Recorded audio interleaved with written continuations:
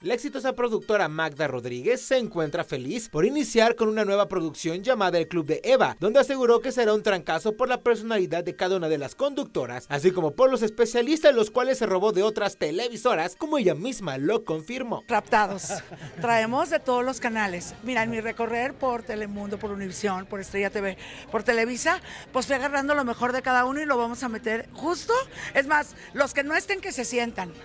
porque no son los mejores porque he ido para cada uno por los mejores y estamos buscando a cada uno y vamos a tener a los mejores expertos para traer un programa entretenido, divertido, con información, cosas verídicas y creo que bueno, algo que hace mucha falta en la televisión en ese horario. Fíjate que las conductoras busqué que fueran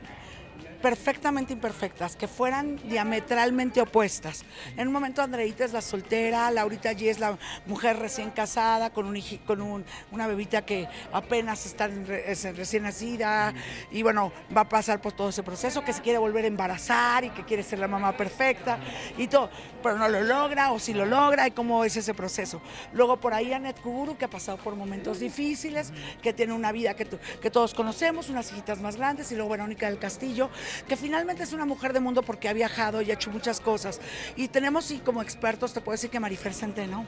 está con nosotros, la grafóloga, está el doctor Krasowski, está Cala, está Ismael Cala,